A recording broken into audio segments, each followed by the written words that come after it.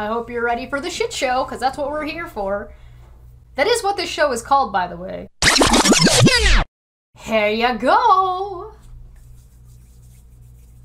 So, South Korean actors and Netflix originals want better pay. The company refuses to meet with their union. Surprise, surprise. So, it's the exact same thing we've been seeing, but this is now talking. We are now talking an international strike if that's what happens. Oh my god, that's huge! Are you kidding me? An international labor strike? That's so exciting! now, okay, now keeping in mind the strikes are like a pressure and they are difficult and they, it's it's not easy to do. So I do not I, I can like I can't wait for like streamers to start striking too. That's gonna be mm, unionized streamers. I am absolutely here for it. I'm every second I'm play. You could go strike, be a union. As news of the SAGAFTRA strike broke in mid-July, uh, Song Chang-gon, a 50 uh, please forgive my pronunciation. I apologize. 51 year old actor and current president of the Korea Broadcasting Actors Union was still waiting to hear back from Netflix, a company that was proving uh, to be difficult to get a hold of. Netflix? Difficult? No. The phone number for its South Korea office was unlisted on the usual websites, but several months earlier, Song had asked around until he finally managed to obtain the personal number of a Netflix Korea executive. Unhappy with the fact that the company didn't pay its South Korean actors residuals. It's the same shit. Residuals are a form of royalty paid to ta- credited talent when a show is reused after the first airing. He had several uh, calls and text message. Oh, he had left several calls and text message. The situation struck him as absurd. Yes, that's a that is a reasonable response. Yeah, yeah, absolutely. Netflix has a, a, vast presence in South Korea, yet at times it felt to him as though the company, which outsource, uh, outsources all of its production to local studios, wielded its influence from behind a curtain. What? Monopolizing? What? Anti capitalism? What? No. Quote, one of their first priorities when entering the local market should be to establish some channel of communications with groups like us, Song said. But there's no answer at all. Le gasp. The Actors Union echoing similar concerns from South Korean writers. Hmm, and production workers says that Netflix has long profited from a system that underpays supporting actors and that better compensation is long overdue. A Netflix spokesman declined to say whether the company would meet the union. Oh, really? Netflix spokespeople declining to say whether a company would meet with a union or not. Who'd have thunk? In a written statement, the company said it follows all local laws and regulations and, and, that ACE, as a streaming service and not a broadcaster, it is not required to pay residuals.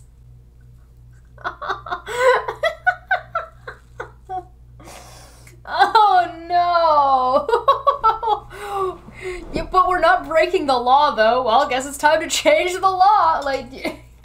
Whatever happened to companies acting in good faith? Was that ever a thing? I've heard like folklore tales about once upon a time companies would like build products and have like good customer relationship and their their products would like be built to last and customer service was something to be like prided and lauded as a company that you like you would your problems would be fixed or they would replace something for you if it if it broke. Was that was that a was all just was that just a fairy tale? Was that just all fake news? Like I, I feel like I've heard of this existing but I don't feel like I've ever experienced it when Netflix arrived in South Korea in 2016, Song and his colleagues at the Korea Broadcasting Performers' Rights Association, the union's partner organization that collects and distributes residuals, had held off on approaching the streamer. Quote, a precondition for that conversation about residuals when Netflix business uh, was Netflix's business successfully taking off here, said Kim Joo Ho, Again, I please forgive my pronunciation. Secretary General in the Rights Association. Okay, so they basically said, "Hey, listen, you get free reign here, and we're gonna make sure that you're successful. Once you're successful, we will establish whether or ASSN ass ninjas." you know what? I like that terminology better. We're gonna adopt that here basically Netflix has to be successful before it can pay residuals. So to ensure the success of a company, they were like, okay, we'll hold that conversation off. If you are successful, then we will come to the table about this. And now Netflix is like, what do you mean we don't have to come to the table about this? It's clear that the precondition has been met and more. Netflix, a $160 billion company, owes at least some of its success to its South Korean originals like Squid Game, which remains its most watched series. The streamer, there's also a ton of Korean drama on Netflix, like a buttload. The streamer recently announced that it would invest an additional 1. Uh, sorry, $2.5 billion to acquire additional Korean content over the next several years. Quote, Netflix has made a lot of money from South Korean content, Kim said, and it's now time to meet. Yeah, that's. I feel like that's generous. They let them make this ridiculous amount of money before meeting, and they probably could have done so years earlier. Union officials have been keeping a close eye on the developments in Hollywood. Besieged by the largest worker strike there in in 60 years, Netflix probably does not want another labor dispute on its hands, let alone in a market that has been reliable in large part because labor costs can be kept low. And thanks to its outsourcing model, Netflix is not legally classified as an employer in South Korea and it doesn't have to bargain with unions. Uh oh.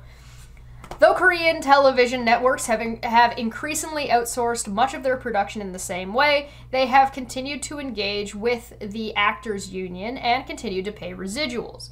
Even local streamers like TVing or Wavve, despite being deep in the red and trailed by consistent bankruptcy rumors, have met with the Rights Association to address the issue.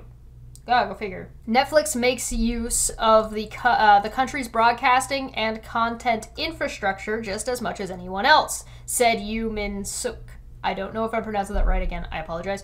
On top of that, th- then like you you makes a really good point. Like a really really good point. You the companies are utilizing the infrastructure, the broadcasting and content infrastructure the same way like Rogers and Bell utilize the infrastructure or the same way like any company utilizes roads and lights and traffic and like the fire department. It's all like they utilize the infrastructure. That's the point of taxes. Pay your fair share of taxes so that capitalism can work and function properly. Jesus Christ.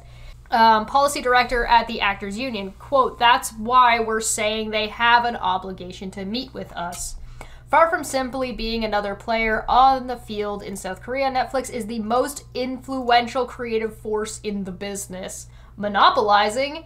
Go figure. Quote, the history of South Korea industry can be divided uh, divided into before Netflix and after Netflix, said an executive at television uh, network Munhwa Broadcasting Corp. Again, I'm you know, I'm gonna stop apologizing for my pronunciation and just do a blanket apology. I don't speak Korean. Or MBC, who requested anonymity because he wasn't authorized to speak to the media. Quote, they brought in huge budgets and snapped up all the big name actors and writers and directors. Once a drama powerhouse, it, uh, his company has recently found itself subordinated to the position of outsourced Netflix supplier. Ew! It, so Netflix basically came in from the outside through, with a bunch of additional money, pumped it full of money to take over everything, and is now like this overlord of North Korean uh, production. Ew. Ew. It was an MBC producer given special permission to take outside work who created the Netflix hit uh, Physical 100, a reality show that held a top 10 spot in the streamer's non English leaderboard for six weeks earlier this year. It's really good. Quote, compared, uh, compared to how well it did, we sold it for peanuts, the executive said. At one internal meeting, opinions had been split about the offer, in which MBC would hand over all the intellectual property to Netflix for a one time payout of a few million dollars. But Netflix's name holds a special cachet. An, yeah, imprimatur of global consumability. Management decided that if it is distributed through Netflix, we are we're not walking away with nothing, the executive said. We basically gave up profit for exposure. Netflix is paying people in fucking exposure. I was waiting for that line. God damn it. I can't. I cannot with this. This is, to me, this is indicative of not just poor business practice, this is indicative of business failure. Like you are failing. If you cannot pay people, you are failing as a company. And why should anybody support you at all in any capacity? Song acknowledges that plenty of good has come from Netflix too. The streamer's production budgets, low by US standards but large by Korean ones, have opened up a golden age of prestige television in the country, popularizing science fiction and other genres that had previously been too expensive and risky to put on network television. The company has created jobs and given Korean content an unprecedented global outlet. That's fair, but is it though? It's worthy to acknowledge. For the most part, actors, writers, and directors are eager to work with the streamer, given that a Netflix appearance is a unique opportunity to uh, burnish one's personal brand. The problem is, in quotes, that Netflix's big production budgets aren't evenly distributed. Oh, go figure. Yay! The problem is that Netflix's big production budgets aren't evenly distributed. Most of this money goes to the star actors or big name screenwriters, Song said. For the majority of most of supporting actors, wages have stagnated or effectively decreased. Indeed, the Netflix lead uh, led shift uh, toward streaming has been a gold rush for top talent, even without residuals. A-listers negotiate their own deals and oftentimes uh, treat any foregone residuals as baked into their one-time payday, which industry insiders estimate have now broken $400,000 an episode, about on par with the cast of HBO's Succession. On the opposite end of the spectrum, per episode rates for supporting actors who receive neither residuals nor premiums start at about $300. Yikes. These rates are based on networks' television pay scales negotiated by the Actors Union before the takeover uh, by streaming. But because Netflix shows have far shorter seasons than the typical Korean network drama, the 16 episode miniseries was once the television standard. Total payouts are much smaller, according to the union. In addition, Song said Netflix, uh, shooting a Netflix episode often takes far longer than one or two days that were typical for Korean network shows. Quote, shoots for Netflix originals, especially genres like zombie or creature features, are far more labor intensive. He said actors are still expected to show up for however many shoots it takes to film one episode without enough additional compensation. That's ridiculous. If you're asking people to do more work, then you should be paying them for the additional work. This is basic, like, this is one to one. This is one plus one equals two. Like, really. Some companies will bump up the episode fee if shooting exceeds three days, according to one producer of a recent uh, original Netflix drama who, fearful of upsetting business relationships, spoke on the condition that she not be identified. I, w- you know what is kind of a problem? The fact that nobody wants to talk about this without saying who they are like it, does that not come off as like suspicious to you? In the case of an actor who usually who's usually paid $300 that would be upped and to around 450 she said Still, in one complaint Song recently received from a supporting actor who auditioned for a Netflix original series, the production company asked for up to 15 shoots for a single episode, while offering only an increase so small it essentially amounted to several days of unpaid work. And because actors do not receive any per diems for food, transportation, or lodging, Song said that many on the lower end of the pay range are still barely getting by thanks to an out of pocket expenses accumulated over multiple shoots. That's so bullshit. in its how can any of these companies claim that they're making any kind of profit if they're not capable of maintaining their own like employee standards or any employee standards in its statement, Netflix said that expenses such as meal or overnight allowances are written into their production budgets, but that these are ultimately overseen by the production company. Quote, we ensure supporting actors are compensated at or above local wage standards, and we work closely with our production partners to ensure all parties are committed to the fair compensation of treatments and actors, Netflix said. In the most, our lawyers wrote this statement for us for the media. Low labor costs, at least for now, have cushioned South Korea actors from another bane at the center of the uh, the SAG AFTRA AFTRA strike, the use of artificial intelligence actors. Ew, ew, ew, ew, ew, ew, ew, ew, ew, ew, ew, ew, ew. Substituting such digital twins for human actors is already happening, though in more limited situations than SAG AFTRA's worst case scenario, in which twins can be animated with such precision that they can entirely replace humans. On Black Knight, a South Korean sci fi series that Netflix released in May, a local virtual reality company called Replica scanned 10 of the main cast members to create digital twins that were used for high risk action scenes or to retroactively insert a key actor in a scene. While the technology is still too costly for things like close ups, the ultimate goal, said Chief Strategist Officer Shane John, is uh, developing it further to replace human actors affordably.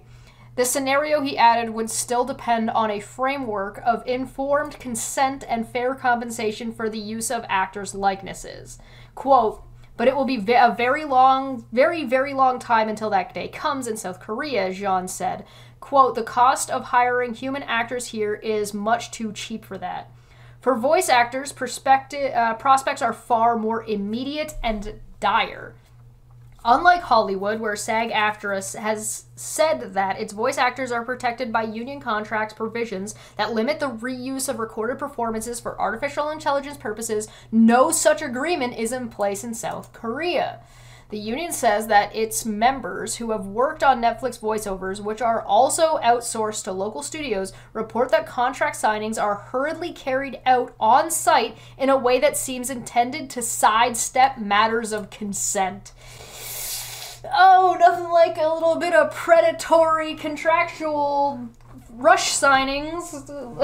Add it to Netflix repertoire quote, all the Netflix contracts were really long and they were all in English. Why?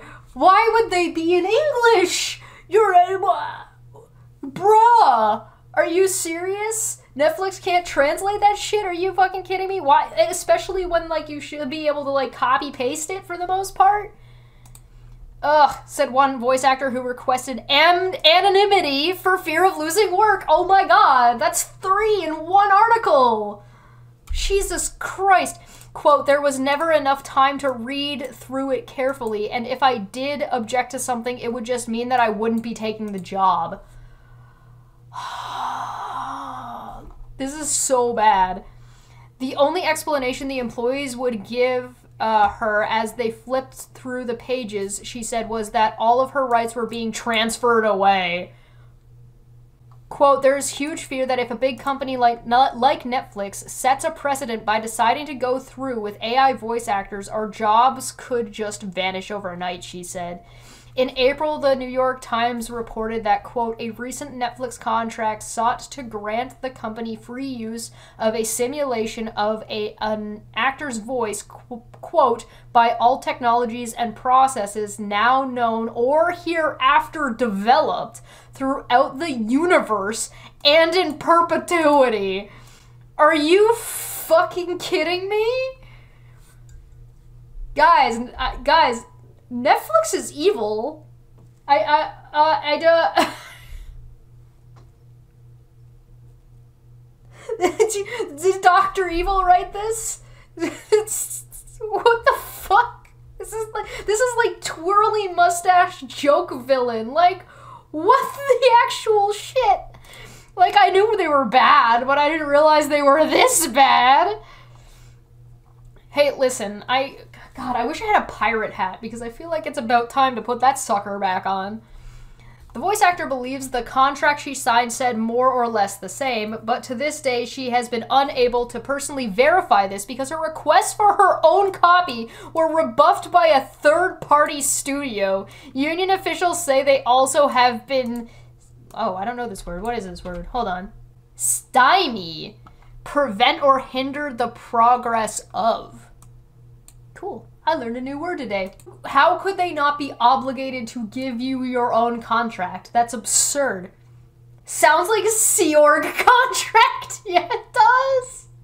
Oh my god. That would not surprise me if Netflix are a Scientology spinoff. They're just starting their cult in South Korea, or sorry, in yeah, in South Korea. Like, what the fuck? Um, quote, I still haven't been able to see a Netflix contract with my own eyes, said Choi Jae-ho. Again, I apologize for my pronunciation. Secretary General of the Voice Actor Chapter. How could, th- how is this fucking possible?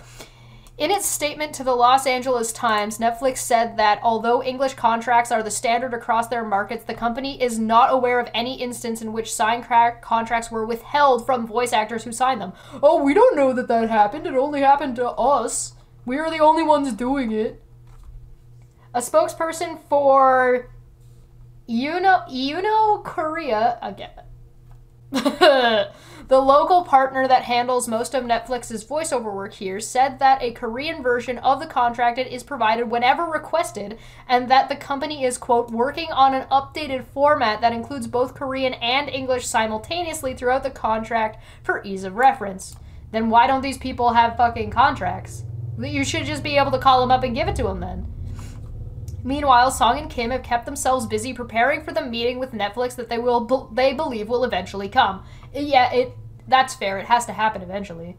They have pored over SAG-AFTRA's residual structure, which determines an actor's residuals payout from several factors, such as the number of subscribers of the streamer airing the show. The union has plans to propose a new wage scale that will impose minimums based on a production's total budget. Quote, but for now, our only request to Netflix is that South Korean performers be given the same residual terms that US actors are getting under SAG AFTRA agreements, Kim said. Steeped in the new realities of global streaming, in which foreign content is serving as a buffer for Netflix against the strikes in Hollywood, true. The Union is also contemplating the larger implications of the fight. Quote, there's undoubtedly common ground that can be found under SAG AFTRA, Song said. It sh- would be helpful uh, for similar organizations representing actors around the world to engage with one another to build up a sense of solidarity. I think that's important. Global strikes, global strikes, global strikes. I am here for it. Burn it to the ground. He mulled over whether to write a message of support.